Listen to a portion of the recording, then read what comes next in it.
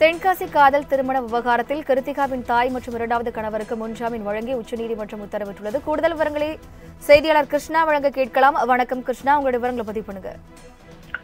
வணக்கம். தென்காசி அருகே பீரனூர் பாத்தில் வசித்து வருபவர் நவீன் பட்டேல் என்பவரின் மகள் கிருத்திகா பட்டேல். இவரும் கொட்டாங்குளம் பகுதியைச் சேர்ந்த வினீத் என்பவரும் காதலித்து கடந்த ஆண்டு டிசம்பர் இருபத்தி ஏழாம் தேதி திருமணம் செய்து கொண்டனர். பின்னர் சில தினங்களில் காதல் திருமணம் செய்த கிருத்திகா அவரது பெற்றோர்களால் கடத்தப்படும் சிசிடிவி காட்சிகள் வெளியாகி பெரும் பரபரப்பை ஏற்படுத்தியிருந்தது.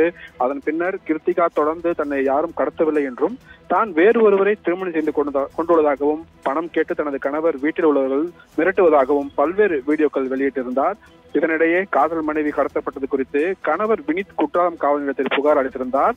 வினித் வழங்கிய புகாரின் அடிப்படையில் கிருத்திகாவின் தந்தை தாய் மற்றும் உறவினர் என பன்னிரண்டு நபர்கள் மீது வழக்கு பதிவு செய்யப்பட்டது. இந்த நிலையில் தனிப்படி போலீசார் தேடி வந்த நிலையில் தலைமறைவாக இருந்த கிருத்திகாவின் தந்தை நவீன் பட்டேல் தாய் தர்மிஸ்தா பட்டேல் உள்ளிட்ட குடும்பத்தினர் கைது செய்யப்பட்ட நிலையில் அவர்களின் ஜாமீன் மனுவையும் உயர்நீதிமன்றம் தள்ளுபடி செய்து உத்தரவு பிறப்பித்தது.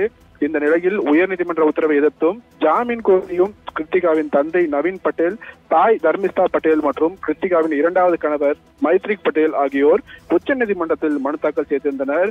இந்த மனு இன்று விசாரணைக்கு வந்தபோது நீதிபதி ராமசுப்பிரமணியன் தலைமையான அமர்வில் இன்று விசாரணைக்கு வந்தது. அப்போது கிருத்திகாவின் தாயின் உடல்நிலை மற்றும் வயதை கருத்தில் கொண்டு முன்ஜாமீன் வழங்க வேண்டும் என்ற ஒரு கோரிக்கை வைக்கப்பட்டது. இருவருக்கும் முன்ஜாமீன் வழங்கி இதில் உச்சநீதிமன்றம் என்று உத்தரவு ஒன்றை பிறப்பித்துள்ளது. குறிப்பாக கிருத்திகாவின் தாய் மற்றும் இரண்டாவது கணவர் இருவரையும் கைது செய்ய இடைக்கால தடையும் விதித்து இந்த விவகாரம் தொடர்பாக ஆறு வாரத்தில் பதிலளிக்க வேண்டும் என தமிழ்நாடு காவல்துறைக்கும் உச்சநீதிமன்றம் நோட்டீஸ் ஒன்றை அனுப்பியுள்ளது. வினிதா. கூடுதல் விவரங்களுக்கு நன்றி கிருஷ்ணா.